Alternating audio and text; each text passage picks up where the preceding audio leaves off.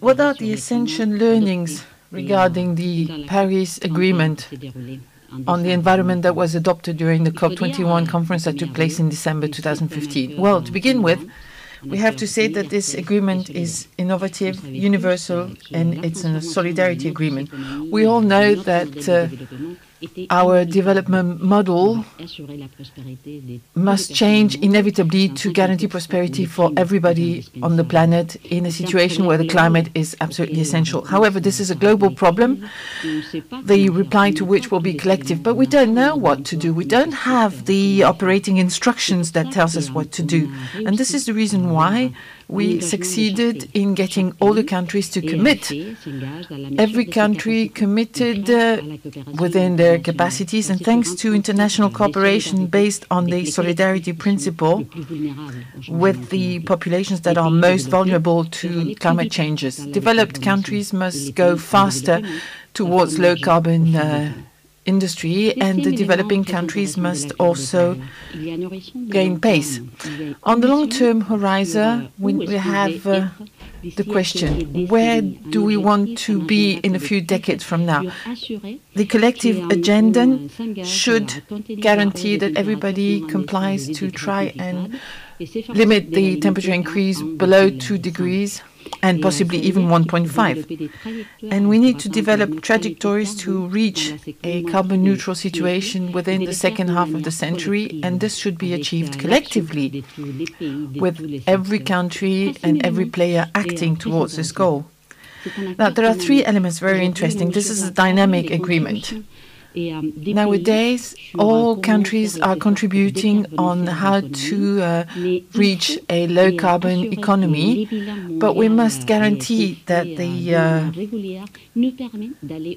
situation in the world allows us to go even beyond this aim. We know that what we're doing today is not sufficient to reach a neutral carbon situation, which is within our collective agenda and our commitment in the long term.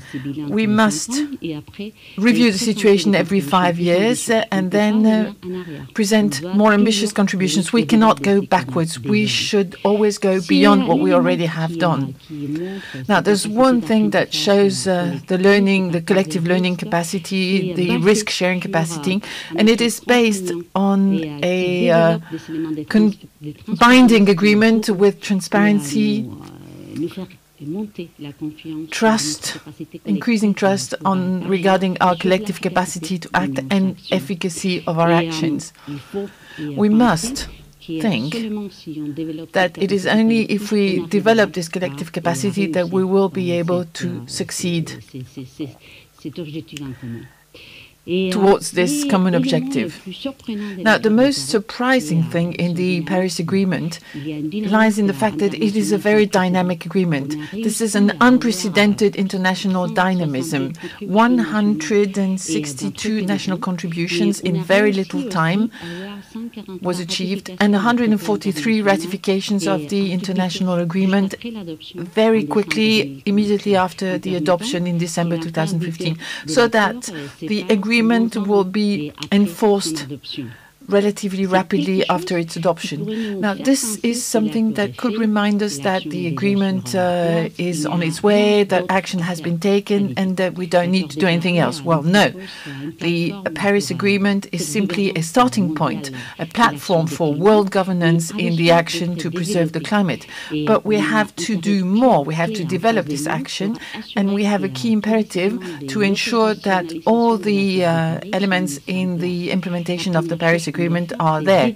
First of all, we must develop all the rules that must be finalized around 2018 in order to ensure a dynamic system and in order to ensure that we have a catch-up system for the coming years.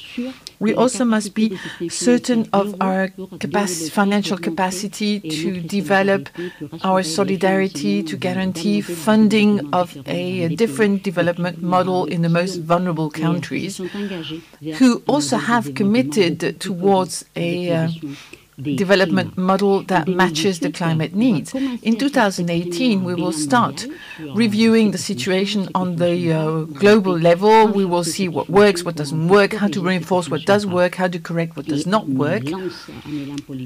And we have to find the political momentum in order to ensure that the collective action will continue to protect the climate so that we can meet the promises made in Paris. Right now, we have announced actions, but uh, we're far from having done what we need to do. So we need to ensure the catch-up method, and we need to do what needs to be done. The world has changed. The world has changed in very little time.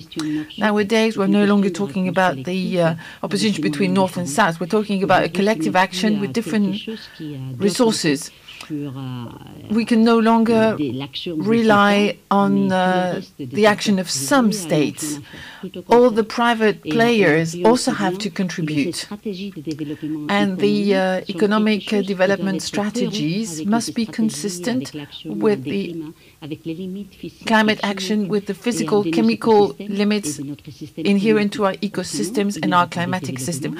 Otherwise, there will be no development, there will be no prosperity and there will be no capacity to live together in an interdependent and multipolar context, such as the one that we find in the 21st century.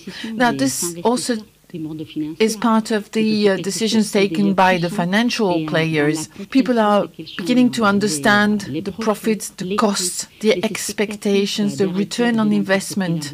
And this is the reason why the financial industry has decided to do more to understand better the climate risks and threats and what decisions must be made and why the carbon intensity is important and how we can uh, take into consideration the impact that a different climate will have on physical infrastructures obviously considering that this will bring a return, and this is now playing a role in the way they take decisions and measure the risks.